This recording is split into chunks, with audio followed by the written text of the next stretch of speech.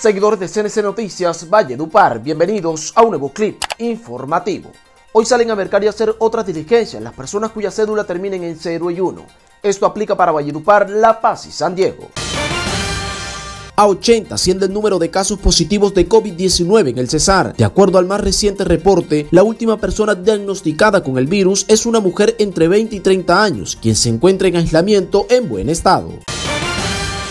La Fiscalía General de la Nación investiga presuntas irregularidades en la contratación de 6.000 mercados en el municipio de Aguachica. Funcionarios del Cuerpo Técnico de Investigación de la Fiscalía realizaron la segunda visita al Palacio Municipal y efectuaron la respectiva indagación de la distribución de los kits entregados por el gobierno local.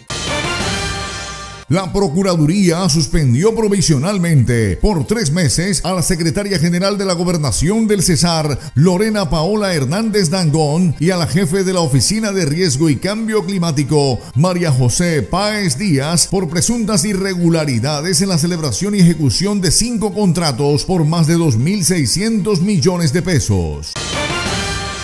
El Consejo Municipal de Aguachica no aprobó el plan de desarrollo. Los corporados aseguraron que este no fue socializado con la comunidad. Soy uno de los ponentes de la comisión primera, donde se hicieron tres debates y se rindió una ponencia negativa y se archivó el plan de desarrollo.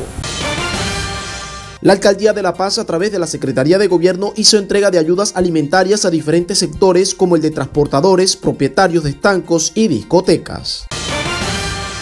Un menor de 16 años perdió la vida tras accidentarse en la motocicleta en la que se desplazaba en la vía Valledupar La Mesa. La víctima, identificada como Vladimir de la Hoz, falleció cuando era atendido en la clínica Santa Isabel. Tres sujetos fueron asesinados en el sur de Bolívar y dos de ellos eran cesarenses. Se trata de Rodolfo Chinchilla, oriundo de Aguachica, quien era conocido con el apelativo de Ricostilla, y Wilmer Barrientos Villamizar, natural de San Alberto. Las víctimas fueron ultimadas de varios disparos con arma de fuego.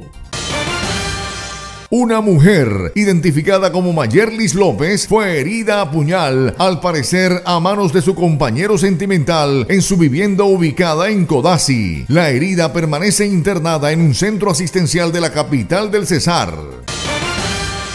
Un juez de la República negó la libertad por vencimiento de términos a Manuel Alfonso Barros, indicado de asesinar a su novia, Yuleivis Esther Rojas, atacada de múltiples golpes en el tórax, la cabeza y la clavícula. El crimen sucedió el 14 de enero del 2019. No acceder a la pretensión de la defensa técnica del señor Manuel Alfonso Barros es decir, no decretar la libertad provisional por vencimiento de términos a su favor.